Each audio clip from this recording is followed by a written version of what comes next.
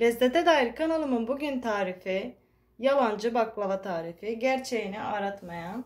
Öncelikle şerbetimizi hazırlayalım. 3,5 su bardağı toz şeker tencereme aldım. Aynı bardaktan 4 su bardağı su.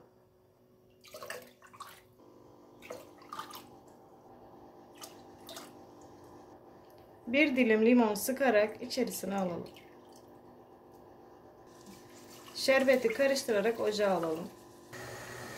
Şeker eridi ve şerbetim kaynamaya başladı. Orta ateşte 10 dakika şerbetimizi kaynatalım.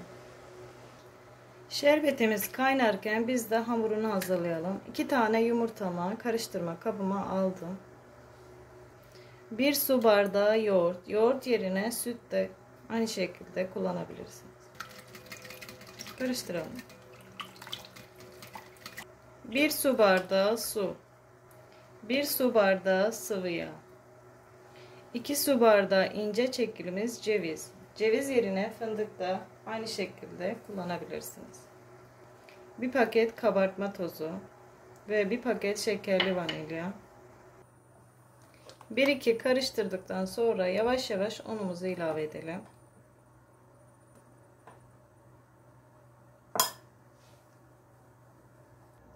Toplamda 5 su bardağı un ilave ettim. Siz yine de kontrollü ilave edin. Bu şekilde güzelce karıştırdıktan sonra tereyağı veya margarinle birazcık elimizle de yoğuracağız.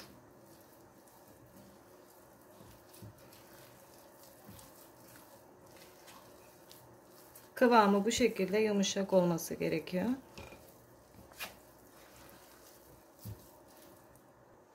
Elimize 2 yemek kaşığı kadar margarin veya tereyağıyla bu şekilde yoğuralım.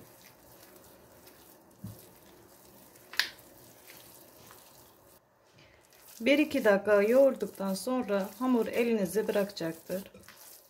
Gördüğünüz gibi gayet yumuşak ama ele yapışmayan bir hamur. Bu kıvama gelince artık tepsiye alabilirsiniz.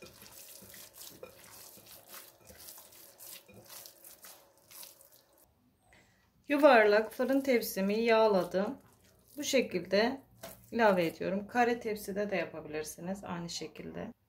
Şerbet kaynayana kadar hamuru da hazır oluyor. Bu şekilde elimizle tepsimizin her tarafına yayalım. Gördüğünüz gibi kıvamı sakız gibi ele hiç yapışmıyor.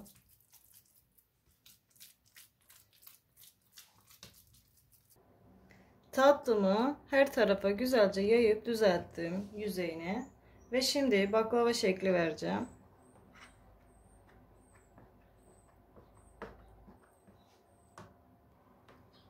Önce dörde ayırıyoruz.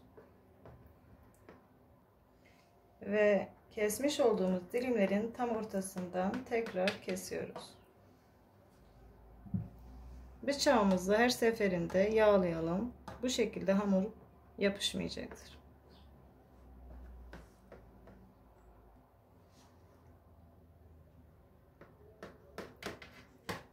Baklava şekli vermek biraz zor oluyor ama değiyor. Görünüş olarak da güzel görünüyor. Bu şekilde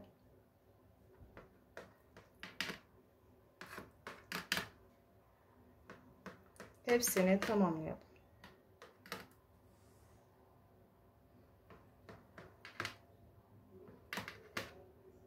Çok yumuşak bir hamur.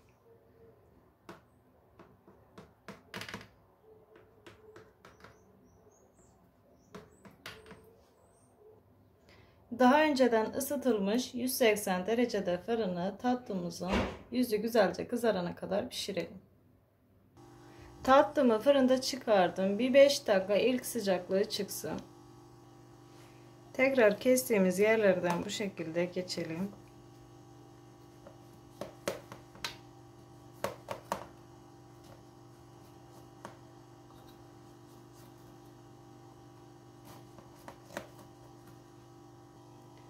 Şerbet tamamen soğuk ve tatlımız sıcak. Şerbetine bu şekilde ilave ediyoruz.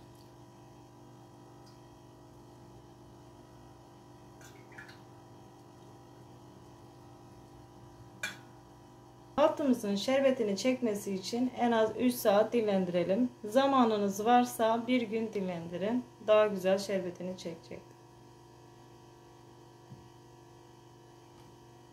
Dediğim gibi zamanınız varsa bir gün dinlendirin. Ben 2 saat dinlendirdim. Ve şöyle bir tane çıkarıp sizlere kıvamını göstermek istiyorum. Dışı çıtır, içi de yumuşacık. Gördüğünüz gibi. Gerçeğini aratmıyor gerçekten. Şimdiden deneyeceklere afiyet olsun. Kanalıma hala abone değilseniz abone olup ve bildirimlerinizi açmayı unutmayın. Farklı tariflerde görüşmek üzere. Kendinize iyi bakın.